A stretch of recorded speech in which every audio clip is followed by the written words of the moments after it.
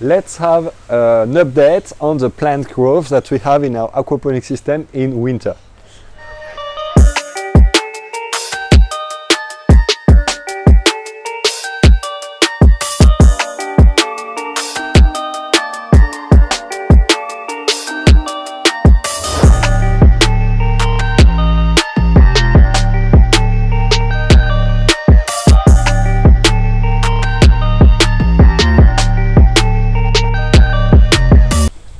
So a few days ago I made a video about uh, the growth of the plants in winter. I told you that we would make some checkpoints and have a look at what is growing during winter. Uh, we know that winter is a season of the year where we, the growth is very limited depending on where you live. But here uh, in the south of Australia, in Melbourne, uh, the temperature uh, is quite low in winter. It can go as low as 2 degrees Celsius for one or two days, but we got uh, several days around 10 degrees. So obviously it's not the optimal uh, temperature for the plant growth, but still, even in winter, you can still grow some food. So today I'm just gonna give an update on where we are at with all those plants that we saw uh, a few weeks ago. See if we had a bit of growth, uh, see how things are going basically. So in this system uh, we still have some celery that is growing, so nothing really new. Uh, the bok choy are growing a little bit more. I had one there, but it's really this one. Uh, I am not really sure what it is. I think it's a it's a silver beet. It looks like it's a silver beet but you see it doesn't have much light, so it has some troubles to grow. Otherwise, the other plants are going okay.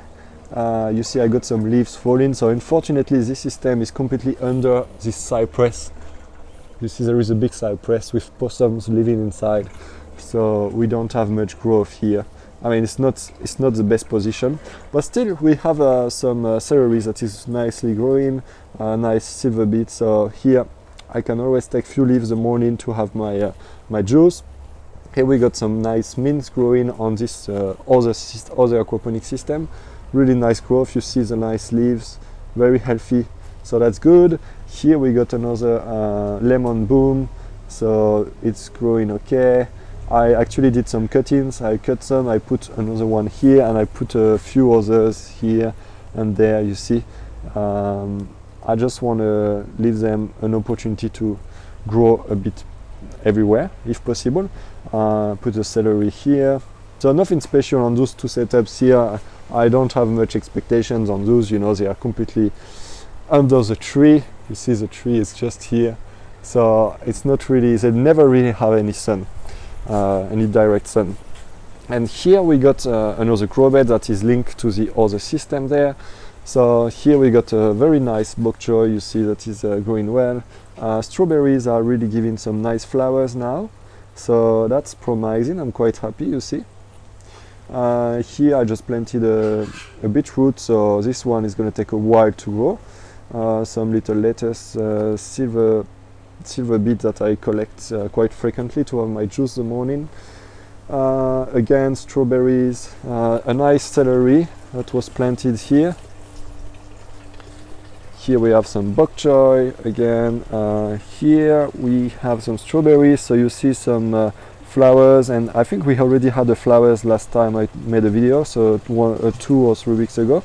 So here we can see that um, there is a fruit here that is almost uh, I mean not ready obviously but uh, it's in nice formation.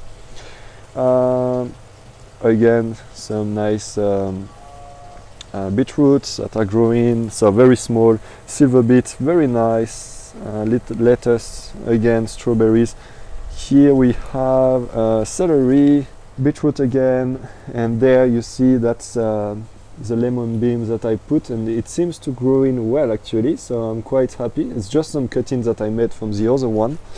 Um, and in winter, so you know that's never the best time to put some uh, to do some cuttings, but still it's working really well. Uh, here we have some um, nice uh, silver beets, um, they are producing well and again I collect the leaves uh, for the juice so it's going well this one you see how old it is so you can see you know I always uh, get the old leaves so when they grow as it grow I just pick the old leaves so for example I want to make a juice I, I collect one two three three leaves um, and I leave it growing, growing, growing. So this one is, has got uh, probably a few years already. I leave it because it's still produced, so no problem for me. Um, here, uh, so the bok choy are growing really well. Um, the lettuce, well, it's winter, but still producing, so a few leaves here and there. Here we got some uh, uh, other types of uh, silver beet that are growing, so it's good. This one is obviously a beetroot, and uh, some kale. Again, uh, I got those those beans that I put snow beans without any, any real structure for them to grow on, so it's growing as it can. So yeah, that's the update for the for the week. Um, you can see there is a, a, little bit of production, but it's not crazy because we are in winter. So we'll see what we can do uh, next uh, in the next two weeks probably. Okay, so I hope you enjoy this little update. Uh, again, it's just few weeks, but in few weeks later, we're gonna have another one. So I'm gonna make a few of those little update video to show you that uh, even in winter, in the worst uh, conditions, we can still have a little bit of growth and produce a little bit of food in our uh, aquaponics system. If you are inspired by this video, if you are interested by aquaponics, you are on the good place.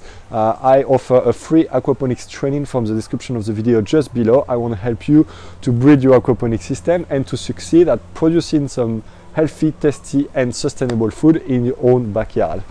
You can subscribe to the channel and if you enjoy this video, please give it a like. I'll see you in the next one. Bye bye. Thank you so much for watching the video. I really hope you enjoyed it. Don't forget to get your free gift from this screen.